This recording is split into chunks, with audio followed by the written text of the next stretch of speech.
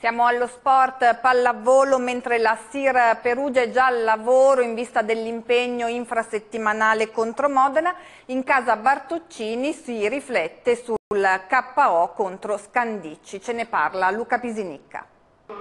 Coach, la prestazione non si può dire che non c'è stata, però si fatica a dare continuità ai risultati.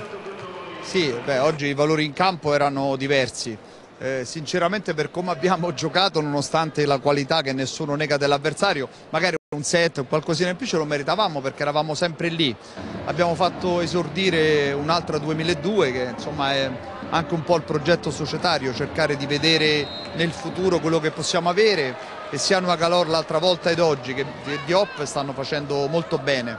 In certi casi è la sconfitta casalinga contro la terza forza del campionato, Scandicci è uno di questi, bisogna guardare il bicchiere mezzo pieno, le giovani su cui Perugia ha deciso di puntare anche in prospettiva futura stanno crescendo bene, anche se questo aspetto non è bastato a scalfire la superiorità avversaria. Di sicuro nella prestazione della Bartoccini forti infissi ha pesato l'assenza per infortunio di Valentina Diouf, che ha però buone notizie in vista del prossimo impegno. Seguire da fuori è stata dura. E sto abbastanza bene, dovrei rientrare tranquillamente per, per, la gara, per la prossima gara e voglio rientrare perché non mi piace guardare.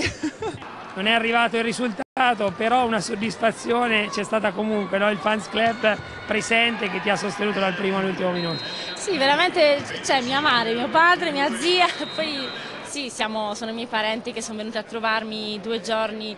Mi dispiace, avrei voluto festeggiare con una bella vittoria, però non era, non era facile. Poi mi dispiace ancora di più perché secondo me abbiamo giocato una buona pallavolo fino a un certo punto, però poi eh, ci perdiamo eh, in alcuni momenti.